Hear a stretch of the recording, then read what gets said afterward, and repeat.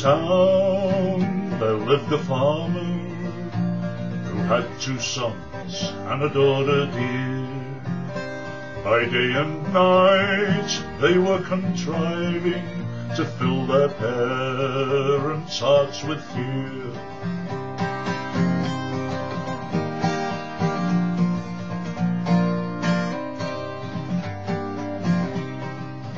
One night, one night of restless slumber, one brother rose up from his bed.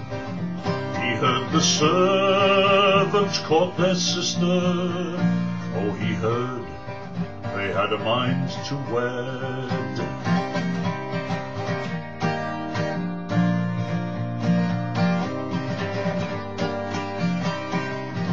He told his secrets to no other, but unto brother this he said. I think our servant caught our sister. I think he has a great mind to wed.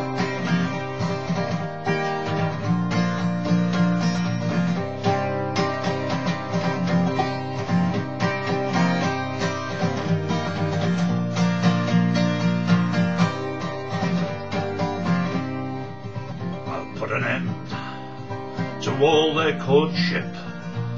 I'll send him silent to his grave.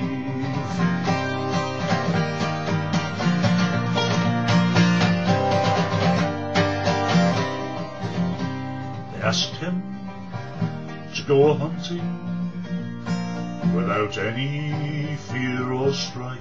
And these two bold and wicked villains, they took away this young man's life.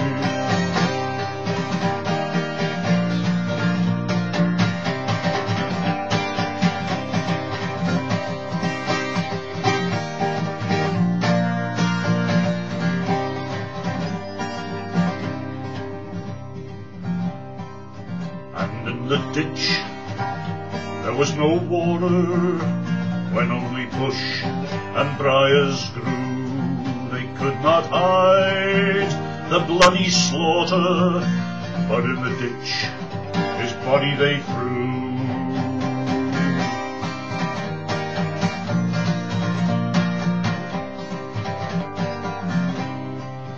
When they returned home from hunting, she asked for her servant man.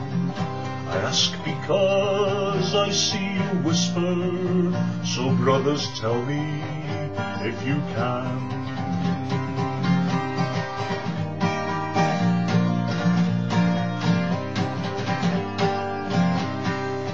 Oh sister, you do offend me because you examine me.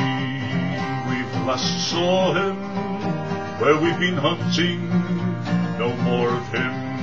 We could not see.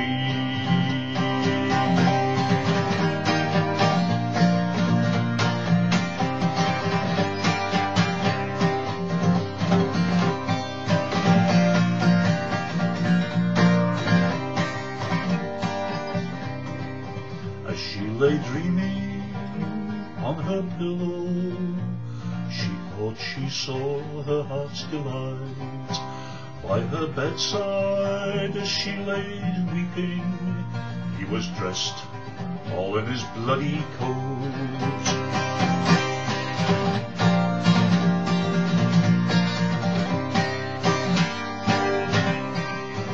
Don't weep for me, my dearest jewel.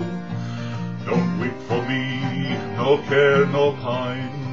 For your two brothers killed me so cruel. In such a place you may be fined.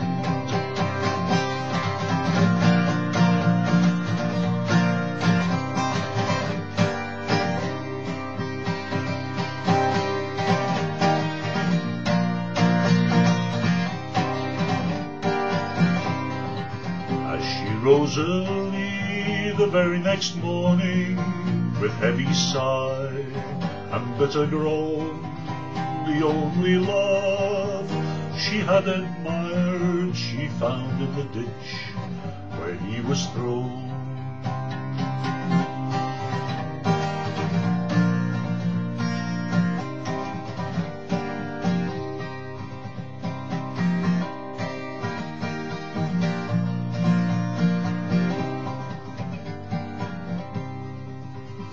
Days and nights she did sit by him, and her poor heart was filled with woe, till cruel hunger crept upon her, and home she was obliged to go.